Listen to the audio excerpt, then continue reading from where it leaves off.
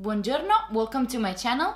Today I'm filming my everyday makeup look, something really easy that you can recreate if you want to go to work or maybe hanging out with your girlfriends or boyfriends or whatever you're doing that day. I don't wear a shadow at all because I prefer to focus mostly on foundation. So I hope you enjoy this video with me and then keep on watching. Okay, so first things first, headband let's put the hairs out of the way. What we're gonna do now is to put a lip balm. I like to do it before applying any makeup on. Afterwards, my lips will be moisturized real quick. You're not supposed to wear primer um, every day. It's something you can skip sometimes, but if you wanna help with longevity of the makeup, it's better if you prime. I am combination skin, and I like to prime. This one is from Make Up For Ever Step 1 Equalizer, the mattifying one. Go just over the forehead. This is my problem area. I get really, really oily up here. So just a little bit will go a long way. And then also on the sides of the nose. You don't need to mattify the entire face. I personally don't get oily everywhere, just in the T-zone it gets really, really oily. Another primer that I'm really, really liking is the Smashbox Photo Finish Foundation Primer. This one smooths out your skin so that the foundation will glide on so smooth and seamlessly. Just a little bit on the fingers.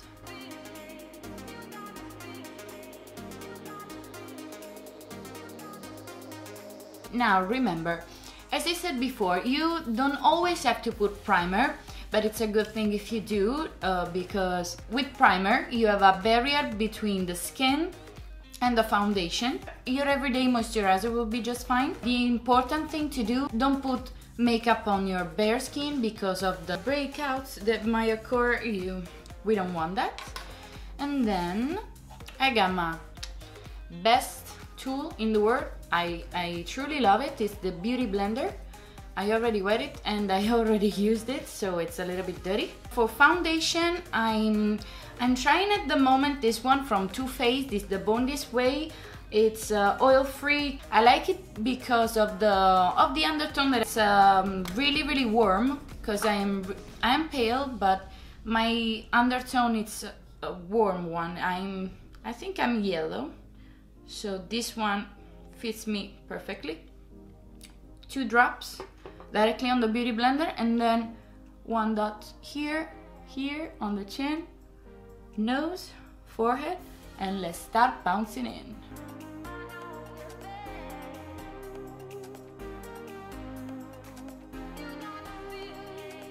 Make sure you go down the neck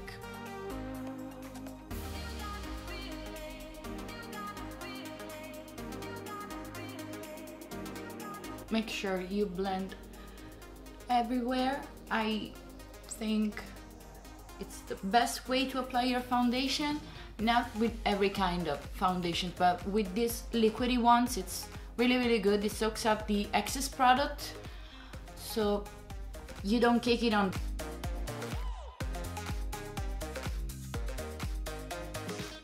This foundation, you guys, I, I truly love it. Okay, so another thing you have to do now, if you want to or if you need to, is to cover up the dark circles. The foundation already did a pretty good job at covering up. I don't have that much of discoloration under my eyes. The only problem that I find that I have is a little bit of wrinkles here. I don't sleep that much, maybe, I admit, I don't know. I hate them. So what I like to use, it's the NARS Creamy Concealer. This one is in the shade uh, Custard. It matches with the foundation. Let's put this bad boy on. Not too much, just few dots, as you can see here. Because I think when you have wrinkles, you don't need to put too much product on it or it will be a mess to blend it out. And then what I like to do is first to buff it up with the with a brush. This one is by Sephora. It's the powder shadow number two. It's not a concealer brush, but I think this one does the job perfectly. And then what I would do is to gently tap it till it's nice and blended.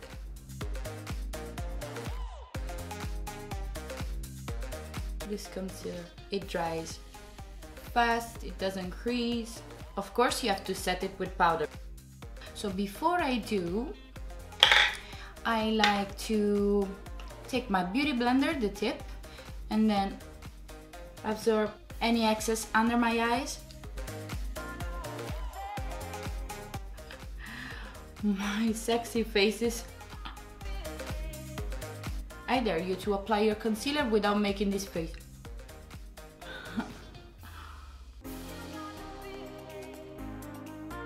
Now let's move on to baking. This is something you might you might want to skip if you have dry dry skin but I personally think that is the only way that I can prevent my concealer to crease. So look up. And with that still dampened beauty blender I take some of the loose powder and place it under my eyes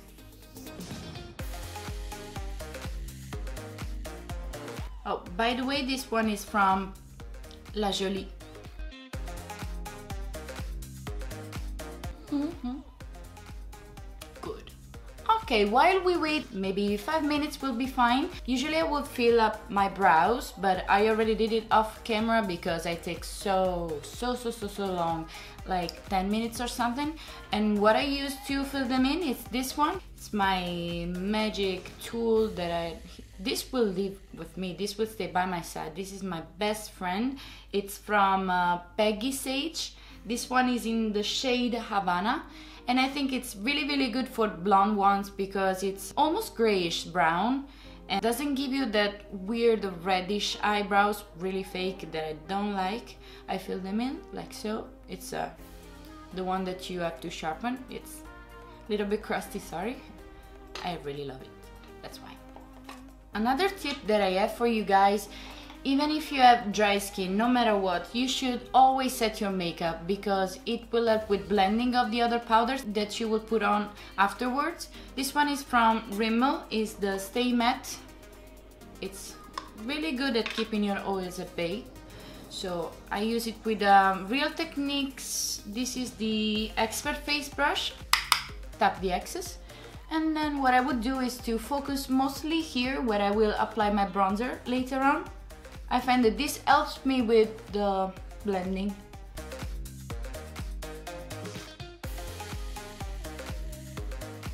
Blend a little bit on the neck just in case there's a line between my foundation and my neck. I don't want it so I make sure that I blend everything out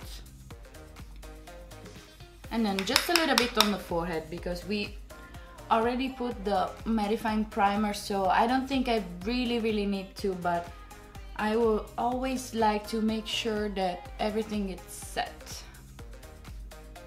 Like so. Tip on the nose just a little bit. Good. Now what I have to do for my complexion to become alive again. Now I am really, really flat. I don't have any shadow, any color to my face, any life to my face. What I will do is to bring this one. Oh my god. This is from Marc Jacobs. It's the Mirage Filter number 40, the Instamarc one. So good. This one has the yellow powder for the highlighting areas. And this is the contour, contour powder. It's so good. Let me bring this one. This is from Sephora. This is the blush brush. Uh, I really like it because it's angled so it gives me the perfect shape of the contour where I want it to be. And it's a small one so that it's really precise as well. What I will do is to take just a little tiny bit and then place it not too low not too high up. I prefer to do it right on the cheekbone to give a natural shadow and then blend it away.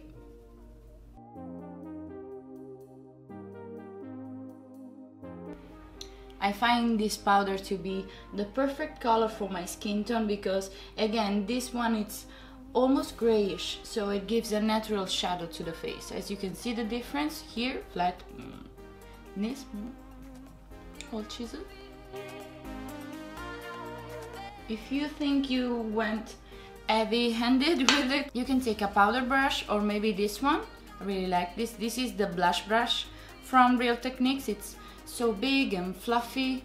What I can do is to go over it and blend it out. So good. Okay, to the other side.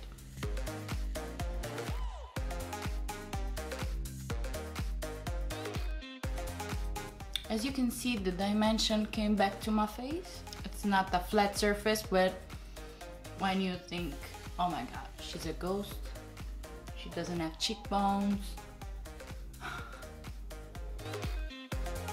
and then near the hairline, because I don't want any of the scalp skin to come through. Okay, now I think we are fine with the baking. We can take it off and I take this brush. I really like this one because of this dome shape. Oh my god, look at look at that. How much powder? Let me tap it off. I clean my brush and make sure you always keep your brushes clean. I do it like once a week and this one is from Real Techniques is the setting brush. So what I would do is to bring a mirror because instead I'm blind and uh, gently tap off the excess powder that I have under my eyes. And with the leftover powder that I have on the brush, I like to set my eyebrows. I don't usually set with gels or anything like that. Powder is just fine. Because of the pencil. The pencil, it's waterproof. You can go by the pool, you can sweat, your brows will stay on with you all day long.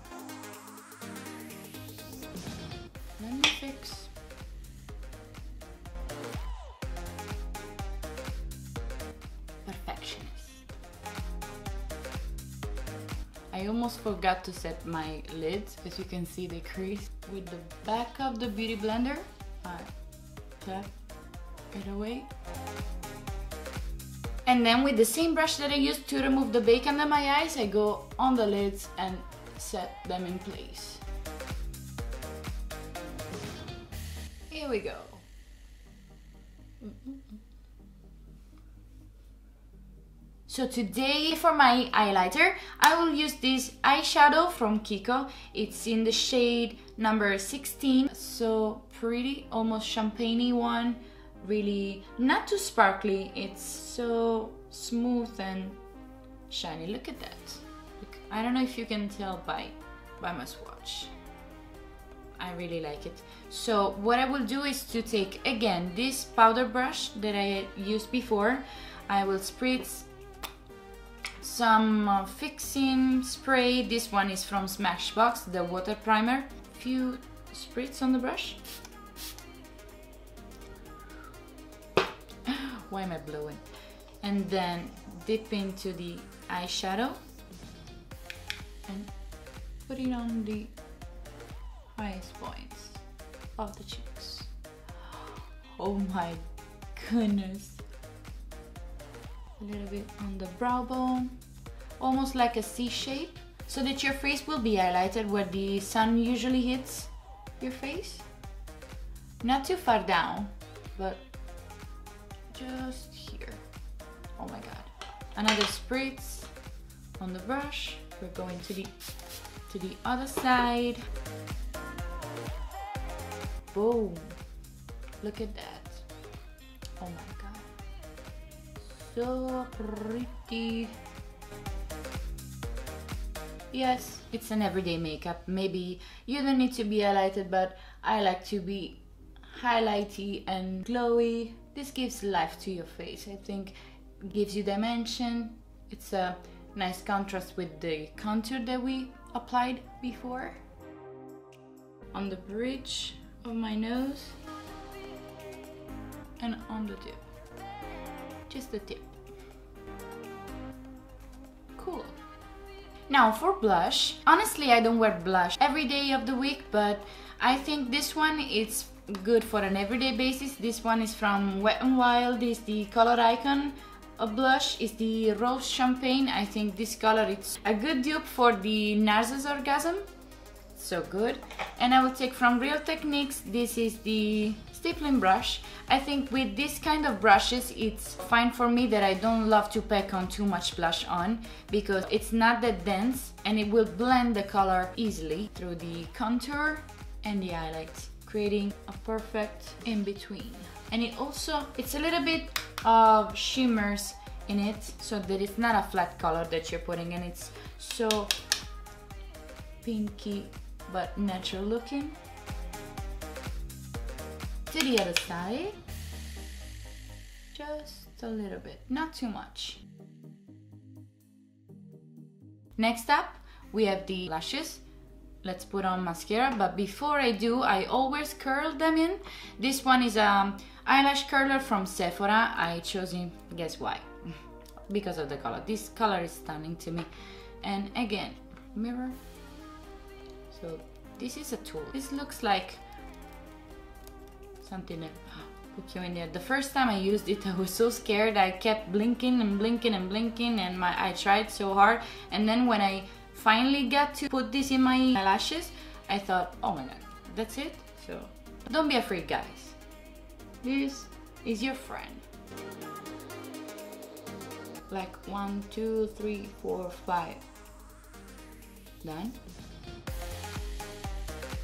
One, two, three, four, five. I don't know if you can tell the difference, but I think you always have to curl your lashes before mascara because it helps your mascara to perform better than ever. I'm using the Maybelline Classic Volume Express Mascara.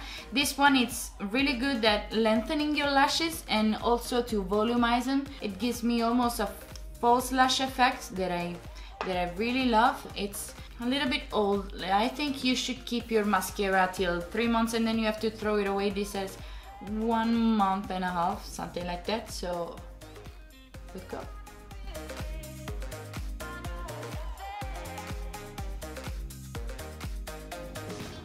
Oh my god, you guys, look at the difference. Look at the difference between this and that. This and that. This. Okay, stop. the other eye.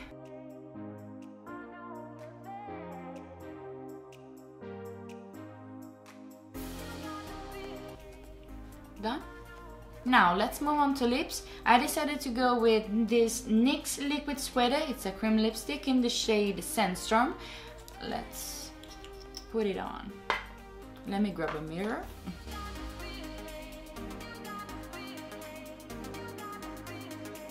Really like this formula. It's a cream lipstick, so it doesn't dry out your lips, but still, color payoff, it's so good, and in just one swipe, like, Last but not least, let's fix everything in place with this one is from Essence is the Keep It Perfect Makeup Fixing Spray. For me personally, if you think you need a dupe for the Urban Decay All Nighter, this one will do, will do the job. This is my tried and true, I, I really like it. So what you need is just